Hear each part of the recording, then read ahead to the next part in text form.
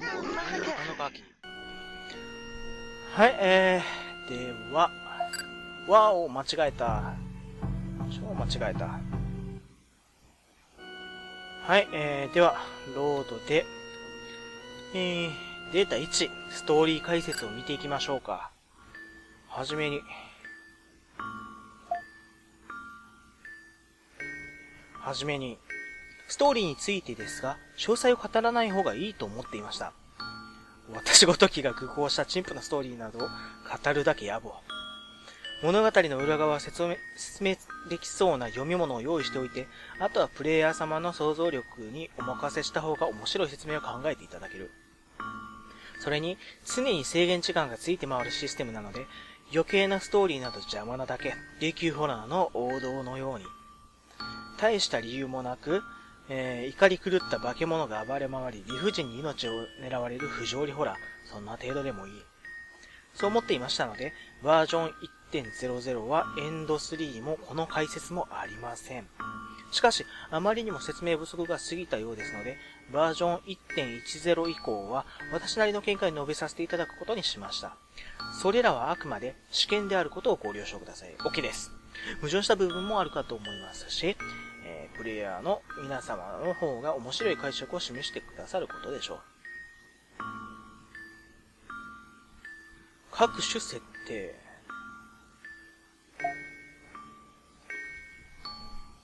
各種設定、タイトル。ナイトウォーカーはそのまま夜うろつくものという意味。BV にはあまり意味はありません。ナイトウォーカーにしようとしていたのですが、すでに同名のゲームがありましたので、コートの人物の歌唱、ベイビーボイス。おー、ベイビーボイス。確かに、このナイトウォーカー BV が出てくるところ、赤ちゃんの泣き声がしてたもんね。えー、さらに検索したとき、区別がつくようにスペースをアンダーバーに変えました。キャラクター。コートの人物も主人公も詳しい設定はありません。男性、女性どちらも感情移入しやすいように、性別や名前も決めていません。でも一応やっぱり主人公は男っぽいよね。まあ、ナイトウォーカーの方はどっちかは、うん、まあ、完全にはわからないと。男っぽくもあるけれども、実際には描かれてないもんね。そのせいで主人公の人格が時折不安定になってしまったのは反省してしまう。反省しています。えー、ストーリー。ストーリー設定は到達したエンディングによって異なり、上位のエンディングを見るたびに、下位のエンディングに新たな解釈が加わる仕様となっています。具体的にはエンド2を見ると、エンド2の展開をもとにエンド1に新たな解釈が加わります。同様にエンド3を見ると、エンド3の展開をもとに、エンド1、エンド2に新たな解釈が加わります。えー、エンド1は、えー、普通にな、や、殴られるというか、もう一回追っかけられちゃいましたやんな。確か。えー、警察、えー、交番に書き込んだけど、ダメでしたというか。で、エンド2が、えーと、確か、助けてくれたパターンか？これ。助けてくれたけど、あのー、通行人が最後笑ってたエンディングがこれ。で、エンドさんが過去を思い出したパターン。で、おまけがサンタ。だよね、確か。そうやったと思うけど。で、まずエンド1。エンド1。単純に通り魔のコートの人物が主人公を襲ったというストーリーで、犯行動機などは不明です。扉や謎解きに必要な諸々を用意したのはコートの人物で、逃げ道を残したのは被害者を何度も追い詰めたり逃がしたりして狩りを楽しむためです。うーん、うん、まあ、全然いいんやけど、そんなに仕掛けられる場所が実際に作り得るのかどうかっていうのはどうなんやろうね。一つの街にあんだけ仕掛けがあって、地元住民は何も苦情を言わないのかっていうね。エンド2。主人公はコートの人物を殺したことで、あ、殺した方か。ああ、そっかそっか。えー、快楽殺人に目覚め人を襲うようになりました。そしていつかは主人公も帰り討ちに遭い殺され、今度は主人公を殺した人間が快楽殺人にループやね、これ。エンド1、えー、新解釈。コートの人物も正当防衛か過失で人を殺した過去があり、快楽殺人に目覚めていました。そのため人を襲うことが止めら、やめられず、えー、夜道で犯行を繰り返しています。主人公に対しては特に思い入れがあるわけではなく、一月後に再び襲われたのも偶然です。なるほど。うーん、こういうループのパターン、ちょ、ちょっと文句つける形になってしまうけど、やっぱり、警察がどこかでね、犯人を捕まえるとなると、捕まえる可能性を考えてしまうと、このループはやっぱりどこかで途切れるよね。そういう途切れる可能性があると、ちょっとホラー要素は薄くなってしまうような気もしないでもないね。エンド3。エンド3は長いので5つに分けてあります。上から順にお読みください。OK。ちなみにストーリー以外の設定裏話はブログの方に書いてあります。OK です。コートの人物の正体。まあこれは主人公の、えー、殺人衝動やったっけ？コートの人物は主人公自身の殺人衝動が無意識のうちに生み出した幻で、扉や看板、謎解きに使う品も現実には存在しません。コートの人物や扉などに影がなかったり、あ、なかったっけ？細かくそこまで見てなかったな。コートの人物にもなかったんや。背景と比べて違和感があるのはそのためです。あ、これ、これ言い訳やね。背景に、背景と比べて違和感があるのはそのためです。これ言い訳や。決して手抜きではございません。本当です。本当ですごめんなさい、嘘です。手抜きです。いや、いい、言い訳ですよ、これは。また、主人公は無邪気な子供に対して、何らかのコンプレックスを抱いています。口述する暗い幼少時代の影響で、無邪気に笑う子供や赤ちゃんを、自分とはかけ離れた存在、イコール理解できない存在、イコール恐怖を喚起する存在と感じています。コートの自分、コートの人物が笑ったような顔をしていたり、赤ちゃんのような声で襲いかかってくるのはそのせいです。もしくは、自分はお前が生み出した、と、暗に示したかったのかもしれません。うーん、BV、ベイビーボーイズ。ね。現実と妄想。あ、ぐんにゃりやね。現実と妄想。謎解きに出てくるエピソードは、主人公が自らの幼少期の体験をもとに空想したものです。ただ、辛い過去の経験を自分のものではないと思いたいがために、妄想が入り、性別や出来事、家族構成などが事実と異なります。実際にあったことと妄想は次の通りです。あ、ちゃんとそこまで解説解説してくれるんや。エリア、一つずつあるか、くるみ割り人形をもらったけれど嬉しくなかった。くるみの形状が怖かった。脳みそみたいで。なるほどエリア2。母親による虐待で倉庫に閉じ込められた。さすがに3日は妄想。お、なるほど。エリア3。母親の死は事実。自殺だったが、その後の思春期に親への反発心から父親を疑うようになり、兄弟の死や無心中という要素を加えた。自分を虐待していた母親の死とその遺体を見たことは、後々までトラウマとた、とな、とな、とな、となまとなり、えー、死に対する独自の思考を持つようになる。絵を描いた子供の名前は主人公とは別人。幼稚園の時に死んでしまった同級生。もちろん主人公は高校で死んでいない。えーと、駿河学ぶ？だったっけ？エリア4。友達と遊ぶ約束をしたが、約束は破られ、誰も来なかった。これは、あれか、えー、ドリフか。実際にはみんな死んでいない。ただ気まぐれで来なかっただけだが、やむを得ない重大な事情で仕方なく約束を破ったと思いたかったので、みんなは死んだと妄想。エリア5。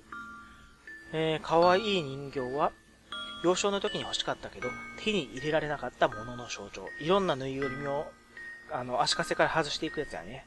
エリア1にもあるように、可愛くない人形しか持っていなかった。可愛い私の人形だったのは、過剰な自意識の反映。ここはちょっと女の子っぽさがあるっていうことなのかな一応、男じゃない主人公も想定してるってことなのかなエリア6。明るい未来を夢見る旧友への嫉妬と教師への不信。これは、夢か？この将来の夢6年に2組。実際には新聞の事件を起こした人物と旧友、教師は赤の他人。しかし、嫉妬心や不信感から無理やり事件と結びつけてしまった。将来の夢、殺人鬼は主人公が書いたもの。なぜそう書いたかは、エリア7のエピソード参照のこと。エンド3で調べたとき文明が違う。文章が幼く表現がストレートになっているのは、もともと表示されていた硬い文章の方が妄想で、無意識に自分の文章を美化していたから。ああ、そう、そうやったかな？うんエリア7。体育倉庫の暗証番号を忘れてクラスメートに嘘の番号でからかわれたのは実際に起こったこと。これはあれか、語呂合わせのやつか。意思があったところやね。困っ困った時に 誰も助けてくれず、それどころか助けるふりをして騙されたことは、主人公にとって大変なショックだった。それまでは漠然としていた死という概念が、この出来事以降、他者に向けた殺意となり、殺人衝動を持つようになる。ちゃんと知ってるね、ストーリーが 衝動の顛末。主人公は殺人衝動を持っていました。それを押さえつける理性もあったので、直情的に犯行に及ぶことはありませんでした。しかし、押さえつけられた衝動は少しずつ、えー、意識の外へ溢れ出し、主人公自身も気づかないうちに別の存在として無意識の中で形を持ち始めました。BV。それがコートの人物です。ベイビーボーイズ。主人公の無意識の中で日に日に大きくなっていくコートの人物は夜道で感じた不安感をきっかけとしてついに主人公が意識できる階層まで姿を現しました。ところが、殺人衝動で膨れ上がったコートの人物を自らの一部だと認められない主人公は、狂気を持って襲いかかってくる怪人だと認識してしまいましょう。しましょう。自らの一部であると認識してもらえなかったコートの人物は、主人公に対してその衝動を向けます。ゲーム中で主人公が傷ついたり死亡したりするのは、無意識による意識の侵食が傷や死として表現されたものになります。プラシーボ効果というか、まあそれの逆パターンやね。あの、火のついてないタバコを火がついてると思わせておっしゃっていると水ぶくれとか火傷になるみたいな、そんな感じや、ってことかな。それは今まで自分、衝動を押さえつけてきた主人公の理性の復讐でもあります。